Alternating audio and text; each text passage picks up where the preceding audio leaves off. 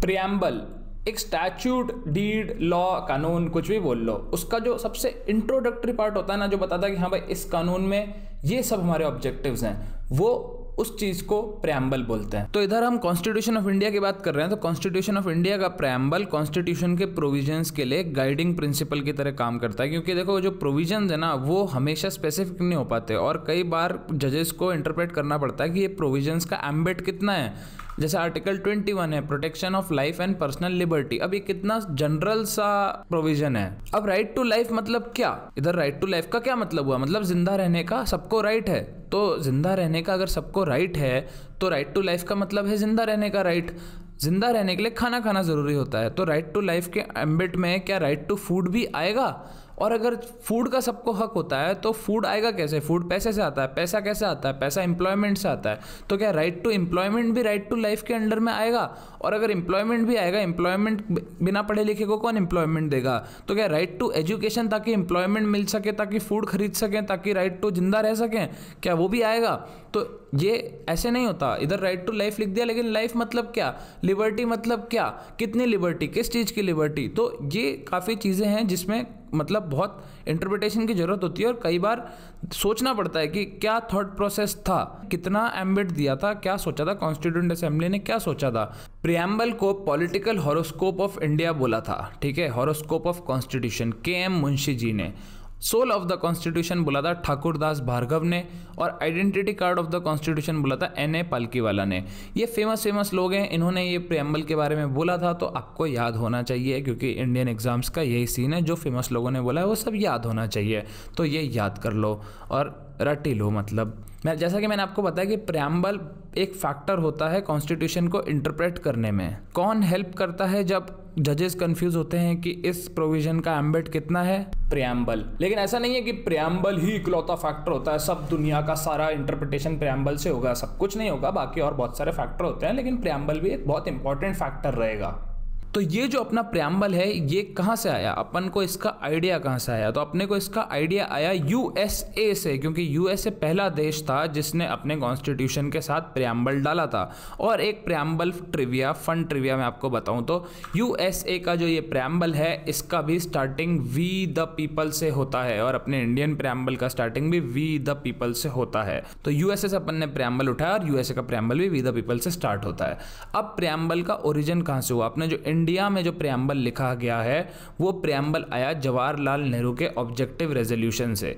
अब देखो अपना इंडिया का प्रेम्बल देखते हैं, मैं एक बार पढ़ूँगा और उसके बाद आप भी पढ़ना और साथ साथ भी पढ़ना मेरे, और जितनी बार हो सकता है ना, जितनी बार, उतनी बार ये पढ़ना। प्रियम्बल वर्ड टू वर्ड याद होना चाहिए। सिर्फ़ एग्ज़ाम पॉइंट ऑफ़ व्यू से नहीं एग्ज़ाम से में तो है ही इंपॉर्टेंट एग्ज़ाम में तो आना ही चाहिए, ठीक है? प्रियम्बल वर्ड बाय वर्ड पता होना चाहिए कौन सा वर्ड कहाँ पे लेकिन एक लॉ स्टूडेंट हो और कॉन्स्टिट्यूशन ऑफ़ इंडिया का प्रियम्बल है तो याद होना चाहिए। मतलब ये एक डूब मरो कहीं जाके। अगर कॉन्स्टिट्यूशन ऑफ़ इंडिया का प्रियम्बल याद नहीं है और अपने आप को तुम लॉयर या फिर लॉ स्टूडेंट बोलते हो तो, तो ध्यान से पढ़ना है। We, the people of India, having solemnly resolved to constitute India into a sovereign, socialist, secular, democratic republic and to secure to all its citizens justice, social, economic, and political liberty of thought, expression, belief, faith, and worship, equality of status and of opportunity, and to promote among them all fraternity, assuring the dignity of the individual and the unity and integrity of the nation. In our Constituent Assembly, this 26th day of November, November 1949 do hereby adopt, enact and give to ourselves this constitution. अब अगर आप highlighted portion को देखोगे तो आपको पता पड़ेगा we the people बताता है कि कॉन्स्टिट्यूशन की सोर्स ऑफ़ पावर क्या है। कॉन्स्टिट्यूशन की सोर्स ऑफ़ पावर भारत की जनता है द पीपल ऑफ़ इंडिया उसके बाद बात आती है कि अपना इंडिया क्या है। अपना इंडिया एक sovereign socialist secular democratic republic है। दूसरी बात ये आ गई। उसके बाद बात आती है जस्टिस लिबर्टी इक्वालिटी और फेटर्निटी की। ये बेसिकली आइडियल्स हैं कि अपने देश में अपन क्या क्या चाहते हैं कि हो। और उसके बाद ये फाइनली जो लास्ट क्लॉज है, वो है इनएक्टिंग क्लॉज मतलब मतलब ये इनैक्ट कर रहा है कॉन्स्टिट्यूशन को। अब ये सारे टर्म्स के अपन थोड़ा डिटेल में जाएँगे, क्योंकि एग्ज़ाम में डिटेल में भी आ जाता है केसेस भी आ जाते हैं तो अपन केसेस भी देखेंगे। वी द पीपल का मैं आपको बता चुका हूँ कि वी द पीपल का मतलब है कि जो कॉन्स्टिट्यूशन का सोर्स है कॉन्स्टिट्यूशन की जो पावर है, वो पीपल ऑफ़ इंडिया से कॉन्स्टिट्यूशन डिराइव करता है। पीपल ऑफ़ इंडिया है कॉन्स्टिट्यूशन की पावर का सोर्स नेक्स्ट वर्ड है सॉवरिन सॉवरिन का मतलब होता है सुप्रीम और इंडिपेंडेंट मतलब सबसे ऊपर, उससे ऊपर कोई नहीं। ये दो तरह की होती है एक्सटर्नल और इंटरनल इंडिया इंटरनली भी और एक्सटर्नली भी दोनों तरह से सॉवरिन है। एक्सटर्नल सॉवरिटी मतलब इंटरनेशनल लॉ में जो अपनी इंडिपेंडेंस है दूसरे स्टेट्स के अगेंस्ट ठीक है? सब स्टेट आपस में सॉवरिन है मतलब हर स्टेट अपने आप में सॉवरिन है। हर स्टेट से ऊपर कोई एंटिटी नहीं है एज सच दूसरी बात आती है इंटरनल सॉवरिनिटी इंटरनल सॉवरिनिटी मतलब हर देश का राइट है कि वो अपने अंदर का जो गवर्नेंस वगैरह और वो जो अंदर की फंक्शनिंग है, जो राइट्स एंड फ्रीडम वो इंश्योर करना चाहता है, जो भी वो करना चाहता है अंदर, वो उसमें उसको कोई डिसरप्टिव इंटरनल फोर्सेस ना मिले, ठीक है? तो इंटरनल सॉवरिटी मतलब उसका अंदर भी अपनी गवर्नेंस करने का पूरा पूरा हक है अपनी सोसाइटी पे, अपनी टेरिटरीज पर। अब इसमें एक बहुत इंपॉर्टेंट सवाल बैठता है कि सॉवरन कब से है इंडिया कौन सी डेट से सॉवरन है? तो इसका आंसर तो सिंपल है। ट्वेंटी सिक्स जैन 1950 से इंडिया सॉवरन है जब से कॉन्स्टिट्यूशन अपना फोर्स में आया था। लेकिन इससे पहले का टाइम क्या था? आप बोलोगे इससे पहले तो अपन गुलाम थे अंग्रेज़ों के? नहीं। इससे पहले अपन गुलाम नहीं थे। अपन गुलाम थे फिफ्टीन अगस्त तक, क्योंकि अपना इंडिपेंडेंस डे फिफ्टीन अगस्त है और ये नाइनटीन की बात है। तो नाइनटीन 15 अगस्त से 26 जनवरी 1950 के बीच का जो पीरियड था, इसमें अपन क्या थे? इस बीच के पीरियड में अपन डोमिनियन थे। डोमिनियन का मतलब होता है कि अपन हो गए इंडिपेंडेंट लेकिन अभी भी थोड़ा सा एक्सटर्नल इन्फ्लुएंस है। उसके बाद जब 26 जनवरी 1950 को अपन सॉवरिन हुए तो मतलब अब अपने ऊपर कोई भी एक्सटर्नल इन्फ्लुएंस नहीं है। नेक्स्ट वर्ड है सोशलिस्ट सोशलिस्ट वर्ड ओरिजिनली नहीं था प्रियम्बल में, वो बाद में ऐड किया था। कब ऐड किया था? फोर्टी सेकेंड अमेंडमेंट के थ्रू ऐड किया था 1976 में, जब इमरजेंसी चल रही, तब की बात है ये। तो तब ये ऐड किया गया था और इसका मतलब था we have social and economic equality ये दोनों इक्वालिटी हम देने वाले थे। ये दोनों इक्वालिटी का क्या मतलब है?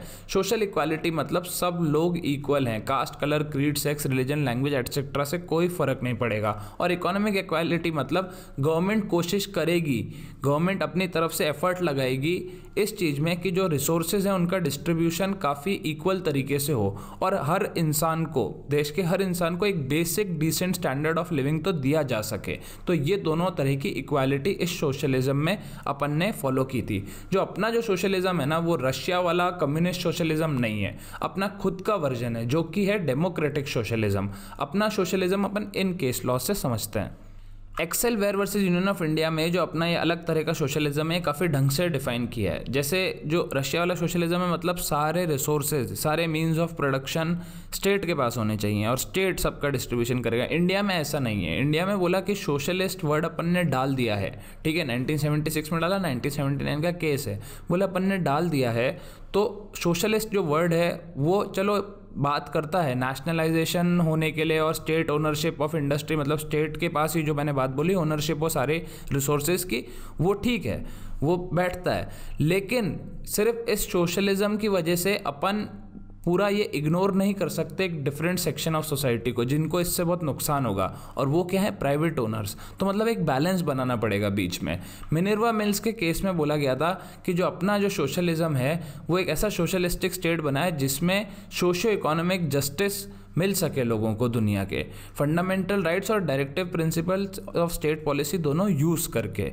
मतलब वही एक बैलेंस बनाना पड़ेगा। सोशल इक्वालिटी और इकोनॉमिक इक्वालिटी देनी पड़ेगी। लेकिन ऐसी नहीं कि कोई एक जने को नुकसान हो जाए, ठीक है? दूसरों के राइट्स भी तो है ना फंडामेंटल राइट्स भी हैं। सोशलिज्म है, लेकिन फंडामेंटल राइट्स भी हैं। जो नेक्स्ट केस है DS Nakara versus Union of India इसमें सुप्रीम कोर्ट ने बोला था कि जो अपना सोशलिज्म है, वो एम करता है लोगों को एक decent standard of living provide कराने के लिए, जो कि अपन ने इकोनॉमिक इक्वालिटी में देखा ही था। तो अपना सोशलिज्म एक बैलेंस है। मतलब अपने सोशलिज्म में ऐसा नहीं कि सब कुछ स्टेट के पास होगा, लेकिन स्टेट के पास इतनी पावर होगी कि वो सबको एक basic standard distribution of wealth दे सके। नेक्स्ट वर्ड है सेक्युलर सेक्युलर भी ओरिजिनली कॉन्स्टिट्यूशन में नहीं था फोर्टी सेकेंड अमेंडमेंट से ही जुड़ा था, जिससे सोशलिस्ट जुड़ा था। सेक्युलर का इधर मतलब है कि सारे रिलीजन्स के लिए इक्वालिटी सारे रिलीजन्स के लिए टॉलरेंस मतलब इंडिया का कोई ऑफिशियल स्टेट रिलीजन नहीं होगा। गवर्नमेंट किसी रिलीजन के फेवर में या उसके डिस्क्रिमिनेशन में कोई हरकत नहीं करेगी। और हर इंसान को राइट होगा अपना रिलीजन प्रीच प्रैक्टिस और प्रोपोगेट करने का। ठीक है? और वो अपना रिलीजन चूज़ भी कर सकते हैं। अब इधर दो केस हैं S R Bommai versus Union of India ये भी काफ़ी लैंडमार्क केस है, आगे डिटेल में पढ़ेंगे, इसमें इतना जान लो कि इस केस में हेल्ड हुआ था कि सेक्युलरिज्म पार्ट है बेसिक स्ट्रक्चर ऑफ़ कॉन्स्टिट्यूशन का। बेसिक स्ट्रक्चर डॉक्ट्रिन भी आगे पढ़ेंगे। बेसिक स्ट्रक्चर ऐसा मान लो शॉर्ट में कि बेसिक स्ट्रक्चर वो चीज़ें हैं कॉन्स्टिट्यूशन की जिन्हें आप चेंज नहीं कर सकते। तो सेक्युलरिज्म भी बेसिक स्ट्रक्चर में आएगा, आप उसे हटा नहीं सकते, आप स्टेट रिलीजन लगा नहीं सकते, कभी भी फ्यूचर में कुछ भी हो जाए। दूसरा केस है इसमें Saint Xavier's college versus State of Gujarat and another इसमें कोर्ट ने बोला था कि भाई अपना इंडिया का जो सेक्युलरिज्म है ना, वो ऐसा नहीं कि एंटी गॉड है। ठीक है? ऐसा नहीं कि हम बोलते हैं कि सब एथिस्ट बन जाओ सब भगवान में अपना विश्वास छोड़ दो। ना ही वो प्रो गॉड है कि भाई हम भगवानों में सारों में मानते हैं। हमको भगवान से मतलब नहीं है। बेसिकली जो स्टेट के मैटर हैं गवर्नेंस के मैटर है, उसमें गॉड का कोई रोल नहीं है। स्टेट और गॉड का कोई रिलेशन नहीं है। ये बस कहना है अपने सेक्युलरिज्म का। ये सेंट जेवियर्स कॉलेज और स्टेट ऑफ़ गुजरात में हेल्ड हुआ था। नेक्स्ट वर्ड है डेमोक्रेटिक इंडिया एक डेमोक्रेसी डेमोक्रेसी का इधर मतलब है कि जो इंडिया के लोग हैं, वो अपनी गवर्नमेंट खुद इलेक्ट करेंगे। जो इलेक्शन होंगे, वो फ्री होंगे फेयर होंगे और पीरियोडिक होंगे। मतलब टाइम टू टाइम होंगे। ऐसा नहीं कि हज़ार साल में एक बार हो रहे हैं। हर पाँच साल में होते हैं ना अपने? और हर लेवल पे होंगे। यूनियन लेवल पे भी होगा, स्टेट लेवल पे भी होगा और लोकल लेवल पे भी होगा। और जो सिस्टम होगा इलेक्शन का, वो यूनिवर्सल एडल्ट फ्रेंचाइजी के बेसिस पे होगा। मतलब हर इंसान को वोट मिलेगा। मतलब एक एज के बाद बच्चों को थोड़ा वोट करने देंगे, वो तो दिमाग का होता है उनमें। ठीक है, एक उम्र के बाद और हर आदमी को एक वोट मिलेगा। ऐसा नहीं है कि आदमी के वोट की वैल्यू औरत के दो वोटों के बराबर हो या एक रईस के वोट की वैल्यू, एक गरीब के वोट से ज़्यादा, ऐसा कुछ नहीं होगा। हर इंसान का एक वोट होगा। अगला वर्ड है रिपब्लिक। रिपब्लिक का मतलब है डेमोक्रेटिक रिपब्लिक। वो एक ऐसी एंटिटी होती है जिसमें स्टेट का जो हेड होता है वो इलेक्टेड होता है डायरेक्टली या इनडायरेक्टली, और एक फिक्स टेन्योर के लिए होता है तो वो होती है रिपब्लिक। तो ये हो गई अपनी इंडिया की आइडेंटिटी के पाँच वर्ड्स इसके बाद हम बात करते हैं कि अपने आइडियल्स क्या क्या हैं मतलब अपन क्या क्या प्रोवाइड करने का सोच रहे हैं। बेसिकली ये ऐसा वाटर टाइट डिफरेंशिएशन नहीं है, लेकिन याद करने के लिए थोड़ा ईजी रहता है। अपन देंगे जस्टिस सोशल इकोनॉमिक और पॉलिटिकल सोशल जस्टिस होता है जब आप अबोलिश करते हो सोसाइटी की इनक्वालिटीज़ पॉलिटिकल जस्टिस होता है जब आप अनरीजनेबल डिस्टिंक्शंस एलिमिनेट करते हो पॉलिटिकल मैटर्स ऑफ़ स्टेट में. इकोनॉमिक जस्टिस होता है जब आप सबको इक्वल काम के लिए इक्वल पैसे देते हो। और भी ये मतलब काफ़ी वाइड है एम्बेड मैं ऊपर ऊपर से बता रहा हूँ एग्ज़ाम्पल के लिए। फिर बात आती है liberty of thought expression belief faith and worship इधर लिबर्टी का मतलब समझ लो बस। लिबर्टी मतलब एक ऐसी स्टेट जूरिस्प्रूडेंस के हिसाब से बता रहा हूँ। लिबर्टी मतलब एक ऐसी स्टेट जिसमें आपके ऊपर कोई रिस्ट्रिक्शन नहीं है। तो अपनी थॉट एक्सप्रेशन अपना बिलीफ अपनी फेथ अपना वर्शिप करने के लिए आप पे कोई रेस्ट्रिक्शन नहीं होगी कभी इंडिया में। नेक्स्ट वर्ड है इक्वालिटी स्टेटस और अपॉर्चुनिटी दोनों की इक्वालिटी इसका मतलब simple providing equal rights to citizens ये अपन फ्रीडम और इक्वालिटी के जो अपन पढ़ेंगे सेक्शन उसमें डिटेल में पढ़ेंगे बाद फंडामेंटल राइट्स में. उसके बाद है फ्रेटर्निटी फ्रेटर्निटी का मतलब होता है एक भाईचारा मतलब एक आपस में कि हाँ भाई, तू और मैं भाई अपन दोनों भारतीय हैं, भाई we are so proud of it ठीक है? उस टाइप की बात हो गई। Fraternity means a spirit of oneness and brotherhood ऐसा ब्रदरहुड क्यों होना चाहिए? ताकि जो इंडिविजुअल की डिग्निटी है, वो भी बनी रहे और यूनिटी भी बनी रहे और इंटीग्रिटी भी बनी रहे नेशन की और इंटीग्रिटी वर्ड भी फोर्टी सेकेंड अमेंडमेंट से डाला था। याद रखना।